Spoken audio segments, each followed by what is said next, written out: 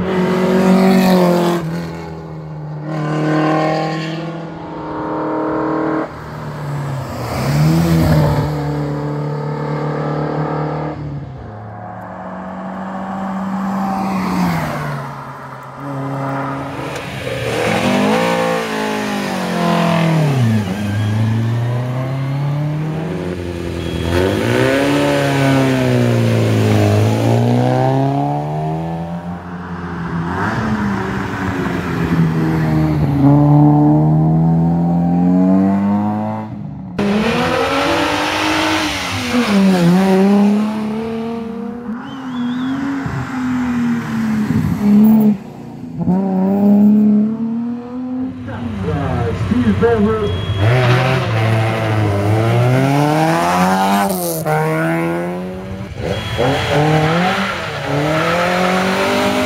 c'est bien là, on devrait avoir une modification euh, de dernière heure pour les aspects.